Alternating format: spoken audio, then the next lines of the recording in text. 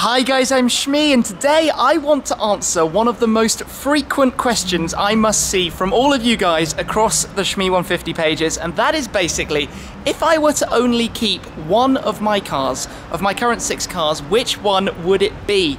And to answer that question, I've come down to Rosso Corsa, the Ferrari dealer in Milan, in my FF on my trip around Italy because quite frankly, it's this car. The FF is the one car that you can actually use for everything. And in the nature of the FF, obviously the GTC4 Lusso, the V12 version we've got here that I'm also going to take out for a little drive, is the successor to that. It moves the game on to another generation. So just firstly, talking a little bit about the FF, I've been using it on a Grand Tour right now, driving it on the motorways, on the autobahns, 300 kilometers an hour. It's up, been up the mountain roads, the twisty roads, the tight sort of twisty mountains. The V12 has been screaming. The 661 horsepower, 6.3 litre naturally aspirated V12 really is one of the best sounding cars you could imagine.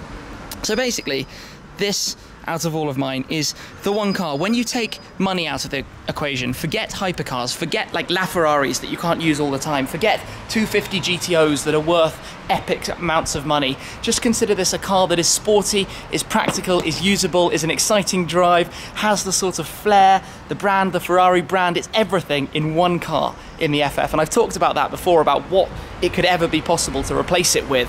And that is basically left to this. So we've got my car in the Le Mans Blue, we've got a blue Scotia, uh, GTC4 Lusso 12 here, the demo car from Rosso Corsa, which we're going to be taking a look at in a moment. But just looking around the cars, you can see that it's slightly updated. There's a new sort of design look to it.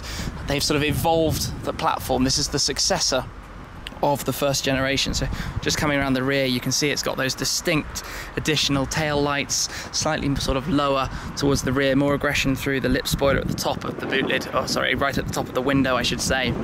But the two cars side by side, it's this form factor, this three-door hatch, this V12, both have the naturally aspirated V12, 690 horsepower in here. It also has new technologies like the rear wheel steering, but it takes luxuriousness and if I show you on the inside here even in the FF the comfort the finish the materials the leather the uh, technology in here might not be the absolute greatest but what you're looking at feels special feels like an event when you drive it if we come over here look at the tan instead of crema of the Lusso you can see it's moved that on we've got a sort of more updated interface you've got a brilliant sort of technology system in here that I'm going to show you as well shortly. So the two cars, there's a reason these, or this form factor, make my sort of one car dream garage. And I'm first going to jump in the FF, take that for a little run out, remind myself why I love this thing so much.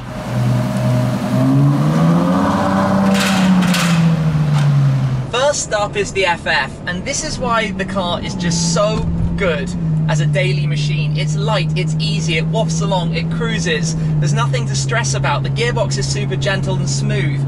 Everything's just easy and relaxing. It's really, really quiet. The sound deadening of the double glazed windows is something that's super hard to explain, but incredibly good.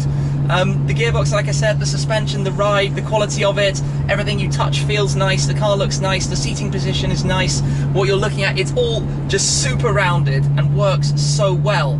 The thing that's crazy though is when you put it into sport and you start blipping the, the paddles manually, which are great paddles to press, and then you get that, you get that V12, which there are no words to describe how good it sounds and how well it drives. That is perhaps the craziest thing about this car. Like I've been discovering in the twisty roads, when you open it up, and I mean I've done something nearly 20,000 miles in this thing now, it drives like a nimble Ferrari. It drives like a mid-engine V8 in the sense of you point and go. Steering is super twitchy when you want it to be, allowing you to be so accurate without having to sort of have your arms going everywhere like they normally do in a luxury GT. Throttle response and braking, super sensitive, but that makes you feel like you're driving an exciting sports car, which for me at least is what I love doing. Then you get to the other end of that, you're back on the motorway and you can cruise along at 300 in comfort and luxury. So basically, it's the car that ticks every box. You know, we've got a boot full of luggage right now, but we've also got four seats and you can have sort of six foot adults in the back with no problem at all. The knee space is completely fine. You can use the thing for everything, but it still has also got the glamour and excitement of a Ferrari. It is a Ferrari. And let's just put the window down. Listen to this. Listen to that noise. It's just. I mean, I've played it many, many times, and different kind of uh, engines have different, I guess, feelings from their sounds. But this one is just an, the next level. It's just something utterly ridiculous, and it makes it such a fun car to drive yet such a practical and usable car. So for me, this is basically why the FF is irreplaceable. You've got your RS6s, your Panamera Sport uh, Turbo S e-hybrids. They are great cars, but they're very different driving experiences because this is the excitement of a Ferrari. This is the Italian brand with all the emotion that we know and love. And you get the point, it does that. You won't be getting sounds like that out of much else that can seat four people and be driven in a sporty way and go as quickly as this can. Let's not forget, like 0 to 62 miles an hour is under four seconds in here, and the top speed is over 200 miles an hour. And when you're on a straight road, you can do this. Up to 8,200 RPM. I love it. This car is great. And basically, there is pretty much only one thing in the world that I think could ever replace it when the time comes, when I can afford one, I suppose. And that is to upgrade it to the new model, to the GTC4 Lusso. So let's go back, let's swap the cars around, and let's go for a little drive in the Lusso.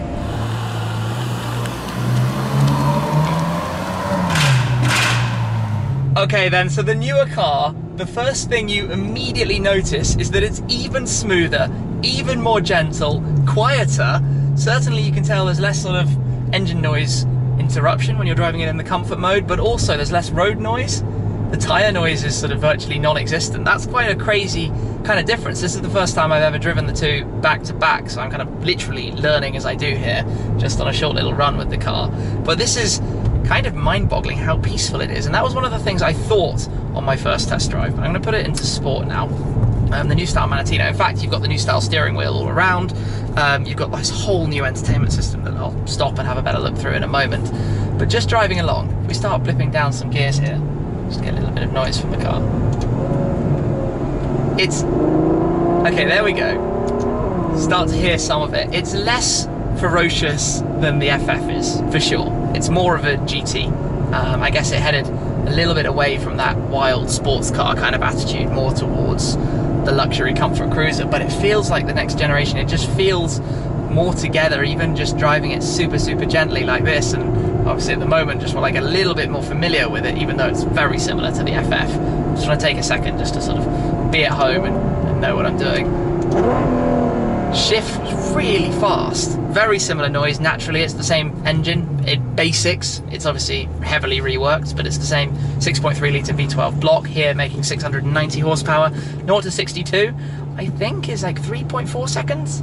3.4 seconds. That's like proper, proper crazy supercar territory. And then near on 700 horsepower. But just idling, it's so peaceful. It's so gentle and relaxed. Obviously it's very similar. You've got more options. You can have a panoramic roof if you opt for one. You can have the passenger display screen um, where you can have lots of information on there. passenger can see the revs, the speedo, that kind of stuff. But then it's just a... It's actually quite a different tone. Surprisingly, the, the noise that it makes is really rather different to the FF.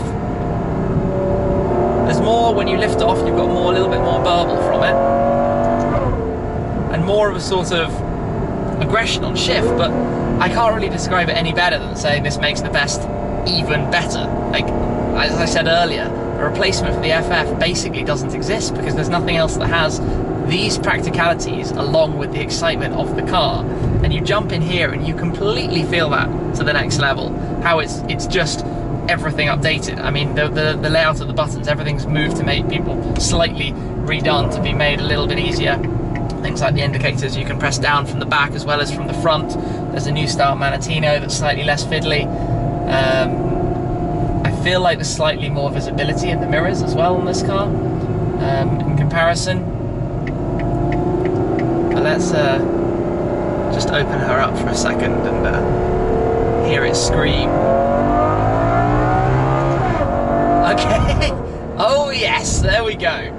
Okay, slightly less dramatic than the FF because the noise doesn't quite infiltrate the cabin in the same way, but you can tell it's there and there's a lot of it. The power is definitely not lacking in this car at all. So, I mean, in answer to the question, find me another supercar from a brand as iconic as Ferrari that can transport four people, luggage, in comfort, with nice leathers and materials, with the electronic sort of side of things that you want that this car has, with the comfort it has, but when you get to a nice road, you can drive it properly and keep up with proper supercars with a noise like that. It's basically a combination that nobody else matches.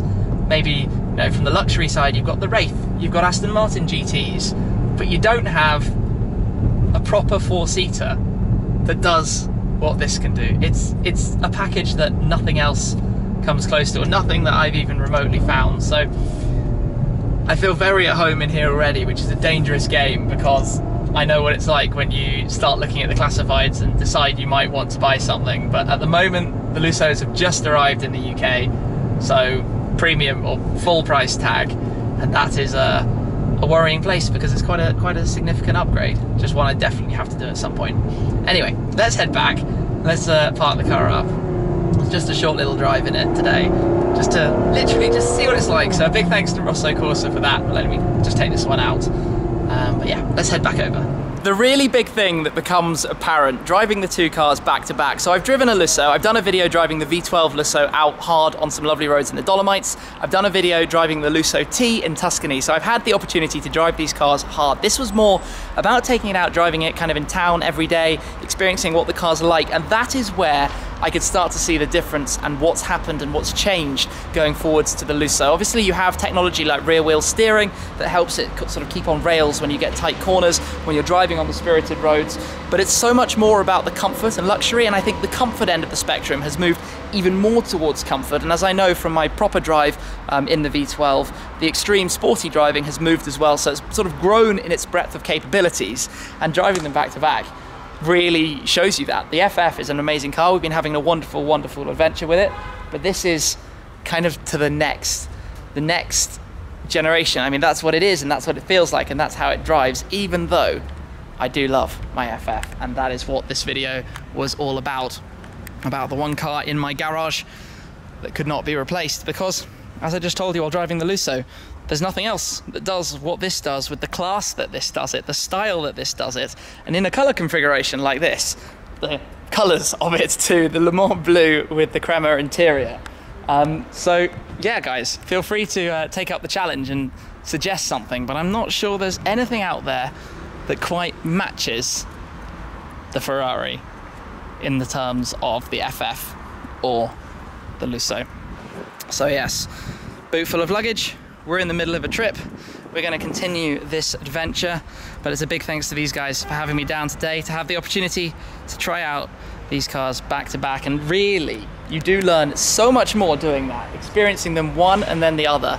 It's a different world from just sort of jumping in a car in an unfamiliar environment where you don't know very much about it and you know you're just sort of jumping in and throwing yourself in. Yes, you have good experiences, but they can be swayed by so many other factors, the weather, for example. But today, experiencing them one after the other, I've learned something, and I hope I've been able to sort of somehow portray a little bit about that. So, my favourite car, my one car garage, would be this the Ferrari GTC 4 Lusso, the V12. More about that in my video with the T and what I thought about the two cars, um, the V12 versus the V8 but it's one of these. So fingers crossed, some point in the future, not for a while, not in a hurry. Please don't go getting any crazy ideas, but a GTC 4 Lusso is going to hopefully arrive as a future Shmee-mobile. Anyway, once again, big thanks to Rosso Corsa. Thanks to you guys, as always, for watching the video. But I'm going to wrap this one up there. Thanks again, and I'll catch up with you again very soon. Cheers!